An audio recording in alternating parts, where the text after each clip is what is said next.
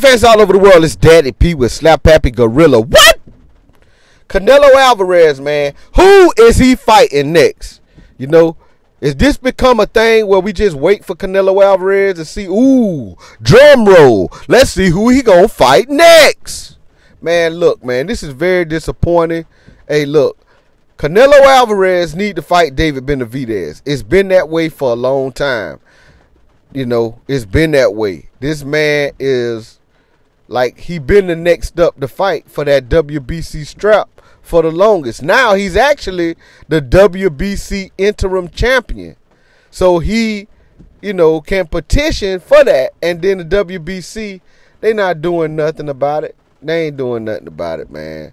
It's a shame, man. Y'all charge these fighters these purses and all I mean a percentage of their purse for that for the for y'all built y'all making all this money, but it's an injustice, man, going on that y'all don't even care about. Man, that's a slap in the face to to hardcore boxing fans. You know? And we the ones that help provide the purse for the fighters. We the one that buy the pay-per-views. You know what I'm saying? And this man is the undisputed champion. That means he's holding up all four belts in the division. And y'all let him keep fighting guys who not even from the division. At all.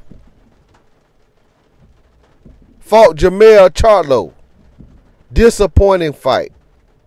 I like Jermell Charlo, man, but Jermell Charlo, when he figured out he couldn't win, man, he just laid down for the money. You know, but we as boxing fans pay for this stuff, man. You know, it's a real injustice. And I'm to tell you, listen, you to mess around, boy, get knocked out by one of these fighters. Canelo Alvarez, he's so worried about his legacy and all that. You mess around and get knocked out by one of these fighters that you fighting. You know what I'm saying? And that's really to be a tragedy. He mess around and fight Crawford. You know what I'm saying? And get knocked out. Man, please. Now what's to happen to your fan base, your legacy? All this stuff you holding on to, man.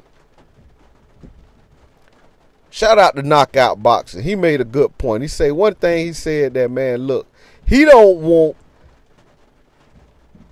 to fight David Benavidez, not because he's scared of him. Canelo Alvarez a fighter, a warrior. But he's scared to lose his Latino fan base, his Mexican fan base, to another fighter who is of Mexican descent. Less. and that make all the sense in the world. But I I mean, besides that, man, look, it is an injustice to the sport of boxing. How this man is able to do all this stuff. Fight these guys.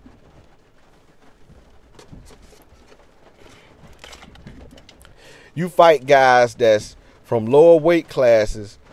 A guy come from 154. He do not deserve to fight for undisputed. Period. He don't deserve it. And then y'all keep bringing up, well, y'all let other fighter, man, forget other fighters. Canelo been doing this for years on top of years.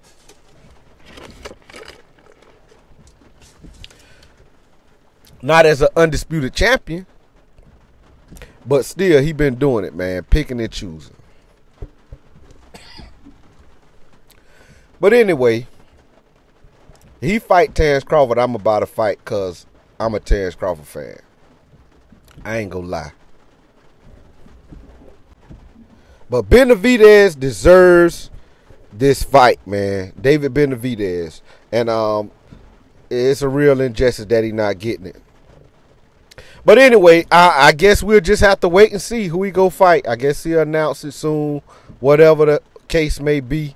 But this is Daddy P. Like, Kate, comment, subscribe, man. He mess around. Okay, Canelo. Mess around and get knocked out or something happen that where you get a fluke loss. See, they excuse the loss to Bivol. Oh, yeah, he went up to a higher weight class. And then Bivol is not of Mexican descent. See? Bivol ain't no Mexican. So if he lost, you know, he still keep his Mexican fan base behind him. He keep being able to make all this money. for every fight, no matter who he fight. Okay, you mess around and lose though to one of these fighters, bro. That's coming up in weight, and this gonna be a slap in the face because, you know, Mexican fans have a rich history. You know what I'm saying? They've been rooting for for great fighters for years on top of years. So you really are desecrating that fan base by what you're doing. And you mess around and have a loss that's crazy. Lose to somebody crazy. And then hey, look, your legacy, everything gonna be in question.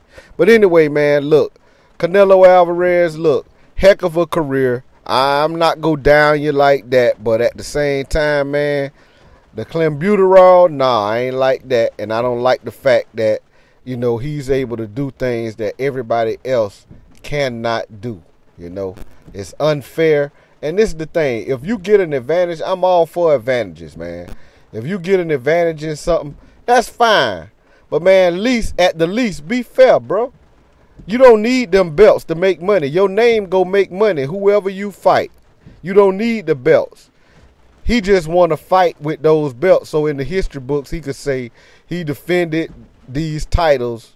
You know what I'm saying? So many times.